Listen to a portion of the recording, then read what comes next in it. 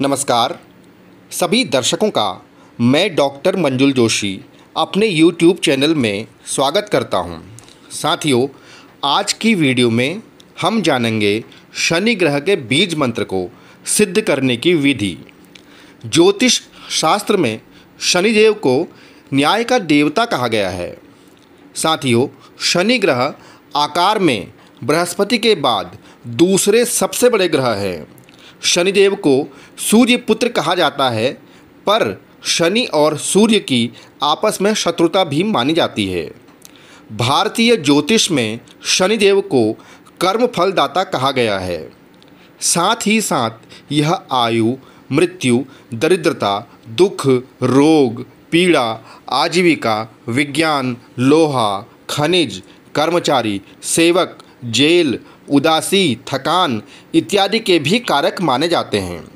दोस्तों, शनिदेव एक राशि में ढाई साल विराजमान रहते हैं, इसलिए उनका प्रभाव सबसे अधिक पड़ता है।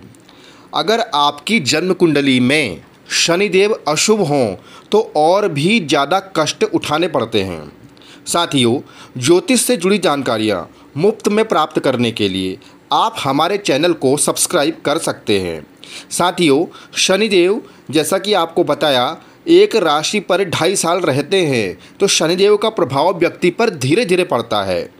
बुरे कर्म करने वालों को शनिदेव दंडित करते हैं और शनिदेव प्रसन्न होने पर सभी मनोकामनाओं को भी पूर्ण करते हैं।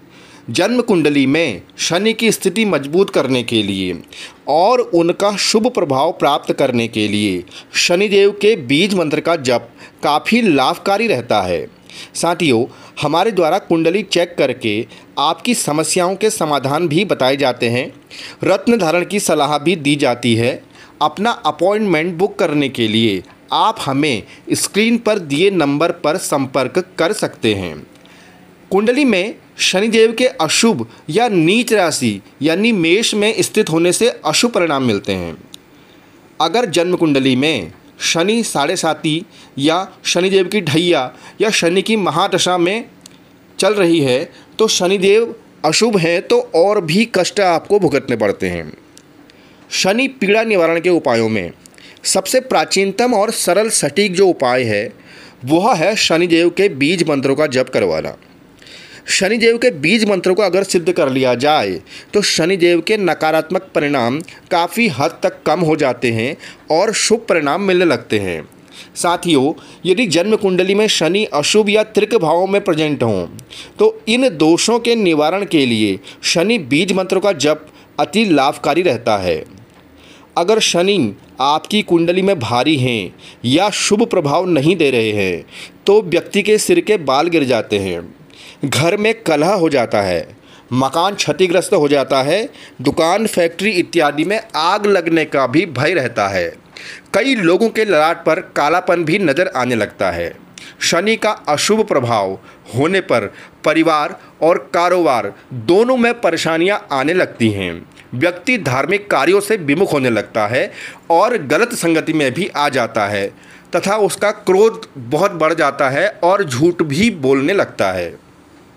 अगर आपके साथ भी यह स्थितियाँ हैं तो आपके लिए भी शनि बीज मंत्र का जाप काफ़ी लाभकारी होगा।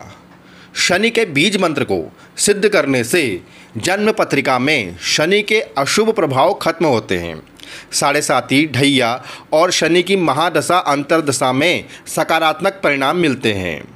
शनि बीज मंत्र से धन धान्य, प्रतिष्ठा, मान सम्मान, राजपथ इत्यादि की प्राप्ति और व्यापार में वृद्धि तथा सभी मनोकामनाओं की पूर्ति होती है।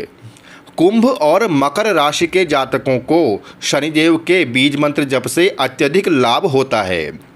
आइए जानते हैं, क्या है शनिदेव का सात्विक बीज मंत्र और इसे कैसे सिद्ध करें?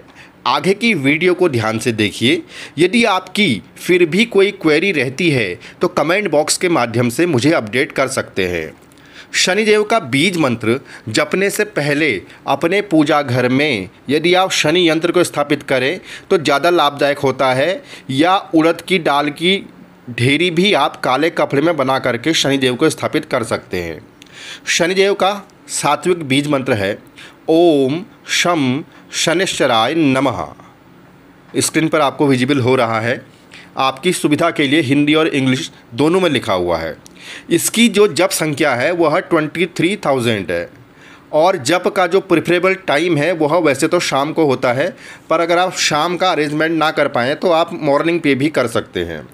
इसे किसी भी शनिवार से प्रारंभ करें तो अच्छा रहता है। कृष्ण पक्ष का शनिवार मिले तो बेस्ट रहता है। जो अनुष्ठान आप करेंगे, इसमें तेईस दिन का समय आपको लगता है। प्रतिदिन आपको 108 मनके की 10 माला जपनी है। और ऐसा आप करें तो 23 दिन में यह बीज मंत्र सिद्ध हो जाता है।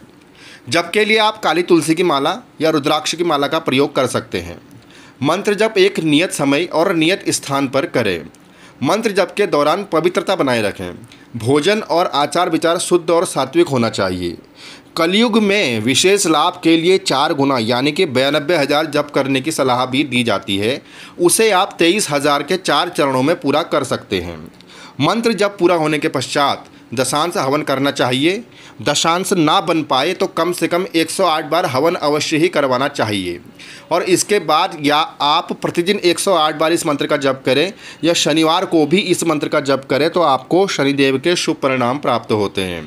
शनिदेव धन, नौकरी, व्यापार में उन्नति प्रदान करते हैं और आपकी सभी समस्याओं से मुक्ति भी दिलाते हैं। इस मंत्र जप के बाद किसी ब्राह्मण को श्रद्धा और सामर्थ्य के अनुसार दक्षिणा दान करनी चाहिए। साथियों, यदि आप यह मंत्र जब खुद न कर पाएँ तो इसे आप हमारे द्वारा भी करवा सकते हैं। तो आज के वीडियो में मैंने आपको बताया शनिदेव के बीज मंत्र को 23 दिनों में आप किस प्रकार सिद्ध कर सकते हैं। यदि आपको वीडियो पसंद आए तो इस वीडियो को लाइक और शेयर करें, हमारे चैनल को सब्सक्राइब करें। अन्य किसी क्वेरी के लिए कमेंट बॉक्स के माध्यम से अपडेट कर सकते हैं। आप सभी का समय शुभ रहे। देखते रहिए डॉक्टर मंजुल जोशी, यूट्यूब चैनल। धन्यवाद।